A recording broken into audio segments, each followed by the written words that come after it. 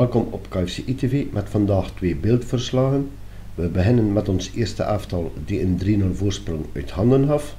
Gevolgd van een verslag van onze gewestelijke U15 ploeg die 0-2 achterkwam, maar alsnog een eerste wedstrijd wisten te winnen.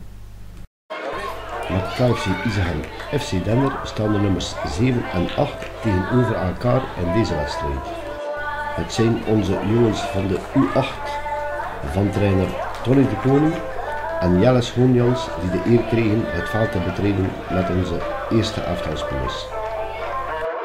Trainer De Kenne begon met het elftal die in de tweede helft het verschil kon maken vorige week tegen Hamme, dus met Mathieu Vliegen aan de aftrap. De wedstrijdbal werd geschonken door Bakkerij Koen uit de Groeningenstraat te Izegem. De jarige bakker Koen had zijn zoontje Jelle meegebracht, die de aftrap mocht geven. Jelle is een U8-spelertje en trouwe KFC ITV van. Hij mag dus eens extra in beeld komen.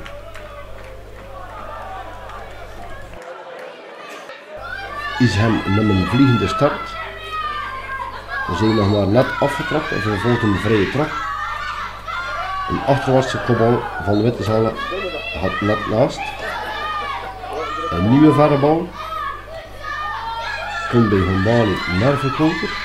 Hombani kreeg hem terug. En trapte 1-0 binnen.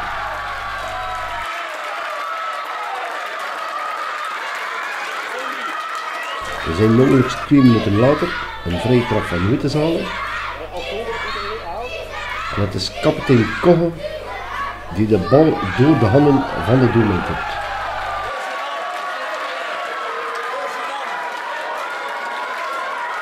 Isegem nam achtmaal een vliegende start.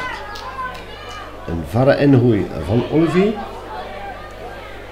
En opnieuw vloert Kogge de bezoekende doelman met een kopbal.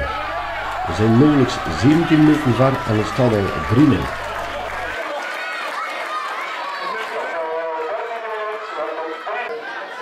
De bezoekers zijn uiteraard van slag.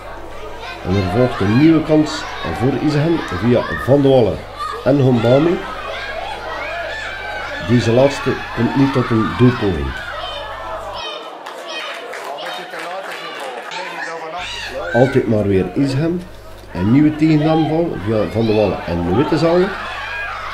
Deze had zijn één kans, maar strandt op de doelman.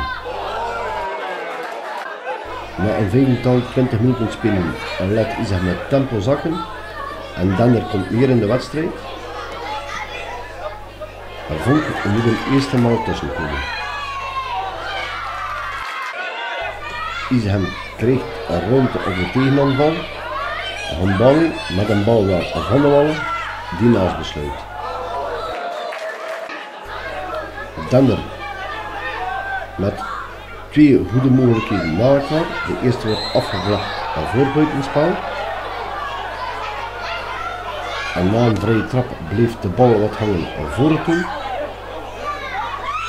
En wordt overbesloten. Even voor de rust is het wel raak voor Dender. Een vrije trap kan door Van Eyck aan de tweede paal binnengehaald worden. Ook Isegem kan nog eens dreigen, eveneens naar vrije trap. Het is Van Doorne die tegen de paal komt en in de herneming overbesluit. We gaan rusten met 3-1 cijfers op het bord. In het begin van de tweede helft gaan de bezoekers met volle aandrang op zoek naar de aansluitingstreffer en tot driemaal toe moet Vonk gepast tussenkomen.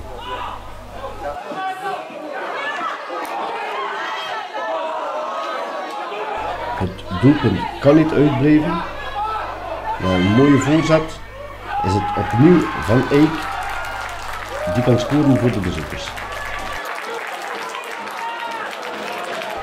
De aansluitingstreffer zorgt ervoor dat bij Ishem opnieuw iedereen wakker is. Er worden weer duels gewonnen en het kan opnieuw gevaarlijk zijn. Het kan tweemaal dreigen via de linkerval van de Wittezalen, helaas tweemaal zonder een doelpunt.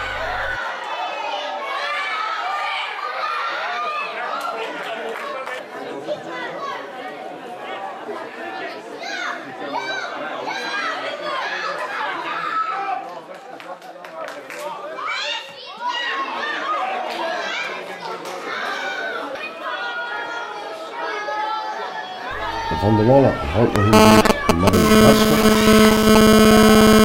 Toch is het steeds uitkijken naar de uitbraking van Dender.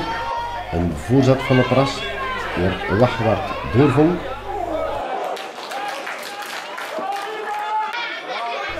Een verkonker met een goede actie naar Van de Wallen. En Hambami met een kopbal over, afgevlacht voor buitenspel. Opnieuw Ishem met een schot van buiten de 16. In de herneming staat ook Cornelis op de doelman. Een verre loeier van de bezoekers scheert rakelings over. En met nog 5 minuten spelen ziet Isegem zijn riante voorsprong volledig teniet gedaan. Het is voor de derde maal van Eyck die aan de tweede paal mag binnentikken. De wedstrijd eindigt nog in een nachtmerrie voor Isegem, waar hier een bal wordt doorgekopt. En Van Eyck met zijn vierde treffer van de namiddag de bezoekers op voorsprong brengt.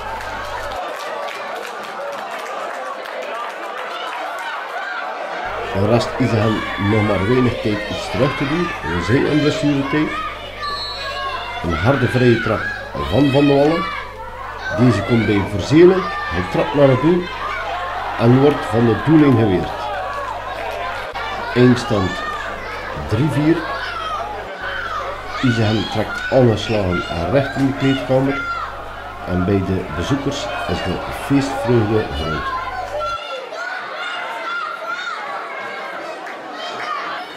Tom Kogge, uh, komen op een snelle 3-0 voorsprong, onder andere twee doelpunten van jou. Maar hoe moeilijk is het dan om de concentratie uh, erbij te houden? Ik denk in eerste instantie uh, dat er nog wel gaat. Denk dat, je, dat iedereen wel beseft dat het dan eigenlijk moeilijk wordt, want dan weet je dat de tegenstander alles of niet gaat spelen. En dan ben je vijf minuten of tien minuten nog, nog goed geconcentreerd en dan verslapt het wat. En, ja, dan, dan kom je 3-1 net voor de rust en dan weet je dat je een hele moeilijke tweede helft tegemoet gaat. Het is eigenlijk zaak om, om net daarna, net de, na de rust of zo, proberen te scoren, zodanig dat je weer die doodsteek geeft aan de tegenstander. Ja, hoe is de sfeer in de kleedkamer aan de wedstrijd? Ja, niet te leuk natuurlijk, hè, maar ik denk ook, ja, het is ook een les dat je moet meenemen. Hè. Je, je kunt eender welke wedstrijd eh, voorstellen, je kunt dat eender welke wedstrijd tegenkomen. Dus uh, nu weet je dat, dat, dat altijd kan gebeuren en dat je tot de 90ste minuut er moet voor gaan. Ja, we hebben vier, eigenlijk vier zittende weken achter de rug. je eigenlijk niet blijven doorwerken. Hè. Nee, in die zin, ik vond, we hebben drie, drie goede weken achter de rug, drie overwinningen. Maar als je dan kijkt, eigenlijk vandaag vond ik het spel eigenlijk een beetje het verlengde van vorige week. Vorige week was het ook al niet schitterend hoor. Vorige week wonnen we die wedstrijd wel. En vandaag staan we 3-0 voor, maar eigenlijk zonder fantastisch te spelen. Uh, en dan, dan merk je dat, dat we eigenlijk uh, een beetje over onze top zijn, denk ik. Het wordt, het wordt uh, het wordt kwestie van uh, ons heel snel te herpakken en uh, heel sterk gaan trainen, want uh, er zijn nog een paar belangrijke wedstrijden voor de winterstop, denk ik. Oké, okay, dankjewel en toch bedankt voor de reactie. Merci. Ja, als je 3-0 achterkomt, na ik denk 14 minuten, ik denk dat dat bij iedereen mentaal heel, heel moeilijk is om die klik te maken. Maar ik denk dat we erin zijn blijven geloven. Uh, we zijn direct uh, wel het laatste half uur van de eerste helft volledig druk gezet. Met als doel toch één goaltje te proberen maken voor de rust. Dat is ons gelukt. En dan proberen ja, uit de kleedkamer te komen en uh, het eerste kwartier de aansluitingstreffer te maken. Dat was ons ook gelukt. Dus we zaten op schema. En we wisten als we blijven gingen drukken en onze flanken bleven voorzetten trappen, dat we uiteindelijk wel gingen overkomen. En uiteindelijk via een klein lucky doelpunt met iemand die hem doorkopt en hij valt voor mijn voet, maken we de 3-4. En uh, ik denk dat dat schitterend is voor uh, de club als Dender. Hadden, jullie bij de rust nog, nog uh, het geloof erin, van die toch nog te winnen eigenlijk? Goh, ja, je moet altijd geloven in je kansen. Hè. Als je er niet meer in gelooft, dan konden we beter na de rust binnengebleven zijn. Ik denk dat de groep mentaal heel goed gereageerd heeft. We zijn er samen voor gegaan en ik denk dat we samen die overwinning hier prachtig hebben meegenomen. De hoeveelste maal is dat u vier, vier keer scoort in de, in de nieuwe wedstrijd? Uh, dit seizoen is het me al eens gelukt drie keer en nu uh, de eerste keer in mijn leven dat ik vier keer scoor. Dus. Onze gewestelijke U15-ploeg kende een moeizame competitiestart. Het kende nogal wat geblesseerden, waardoor ze dikwijls onvolledig aan de wedstrijden moesten beginnen. Het bleef dan ook wachten op een eerste overwinning. Een opsteker is wel dat het vorige week tegen Wielsbeke een eerste 3-3 gelijkspel behaalden. De tegenstander van vandaag is Sporting West Harelbeke, die met 10 punten een middenmotor is in het klassement. Het was even wachten vooraleer de wedstrijd kon beginnen door het ontbreken van de hoekschopvlaggen, maar eenmaal deze geplaatst waren, was het Harelbeke die de wedstrijd meteen naar zich toe trok. Aangemoedigd door een luide aanhang, kwam het meteen tot een tweetal kansen. We hadden gedacht dat Isa hem vertrouwen had getankt vorige week na een eerste gelijkspel. Toch acteert het in de beginfase zeer matig. Het is dan ook wachten op het eerste doelpunt van Haarlewijk, die volgde na een 10 minuten spelen. Geen reactie bij Isham, en tegendeel, het is Harelbeke die opnieuw prikt en meteen de 0-2 op het bord zet. Onder leiding van spelverdeler Emiel de Grande probeert Isham nu toch iets terug te doen. Er volgt een goede voorzet, maar de flankaanvaller is net te laat. Isham is nu meer in balbezit. Er volgt een voorzet die in de voeten valt van Shahan Baheri, die knap afwerkt en de aansluitingsstraffer kan scoren. De wedstrijd verloopt nu meer evenwichtiger tegen aanval van Harelbeke. Die stoot op een attente Ishamse doelman. De wedstrijd is nu leuk om volgen. Een verre vrije trap. De Grande is sneller dan zijn verdediger, maar de doelman kan tussenkomen. Het is nu opnieuw de beurt aan de bezoekers. Met een hard schot, maar doelman Arthur Talens kan redding brengen. Diepe bal Isegem. De bezoekende doelman is ver uit zijn doel gekomen, trapt uit tegen Isegemse speler en er volgt een schot van op zo'n 25 meter, helaas buiten beeld, maar belandt wel in het doel van Emil de Grande. Isegem op een 2-2 gelijke stand. We naderen de slotfase van de eerste helft en we krijgen een volledige ommekeer. Isegem kan een 0-2 omzetten in een 3-2 voorsprong. Het is Emil de Grande die een te korte kan oppikken en opnieuw scoren. We gaan rusten met een 2-3 voorsprong. Ook het begin van de tweede helft is voor Isegem. Het forceert meteen een doelkans naast besloten.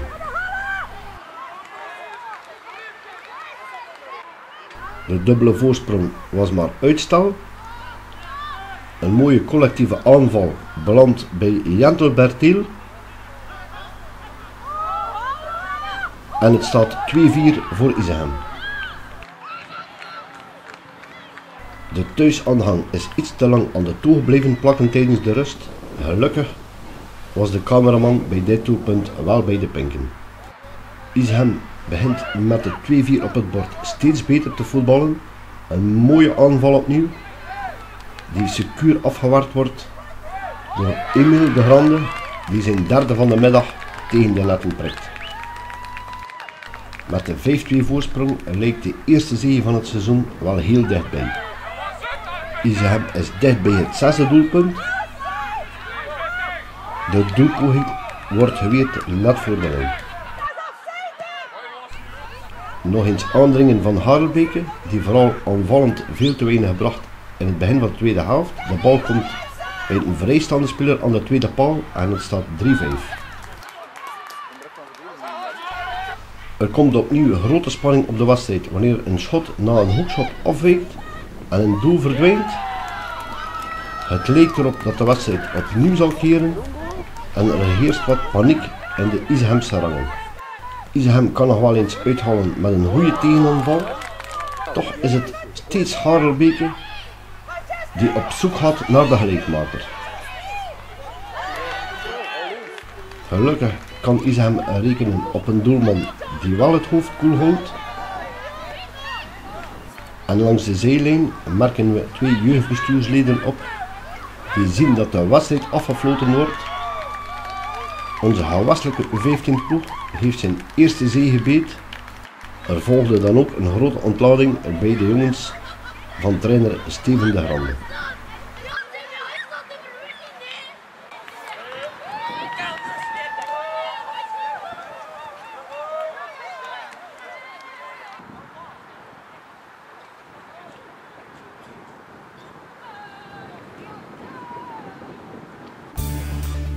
het kijken en graag tot een volgende KFCI TV.